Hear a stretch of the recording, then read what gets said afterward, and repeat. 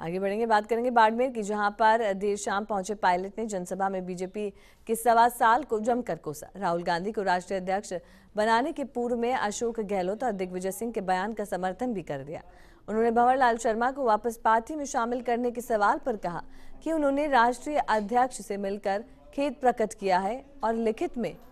खेत पत्र दिया है।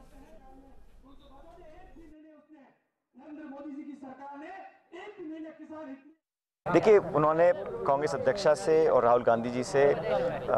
खेद प्रकट किया था अपने व्यवहार के ऊपर और लिखित रूप से उन्होंने कहा था कि अ, मुझे खेद है कि इस प्रकार की घटना हुई थी और उसको कांग्रेस आलाकमान ने स्वीकार किया है और कहा है कि अब आप समर्पित रूप से कांग्रेस पार्टी के लिए काम करें और अखिल भारतीय कांग्रेस कमेटी ने आज ही मुझे सूचित किया है कि उनको उनके सस्पेंशन को रिवोव कर उनको आगे काम करने का मौका राहुल गांधी को अध्यक्ष बनाने की मांग चल रही है। आपका क्या कहना अशोक गहलोत जी ने उससे पहले दिग्विजय सिंह। आपका क्या कहना वो राहुल गांधी जी आज कांग्रेस पार्टी के उपाध्यक्ष हैं और सभी कार्यकर्ता चाहते हैं कि उनके नेतृत्व में हम लोग काम करें। पिछले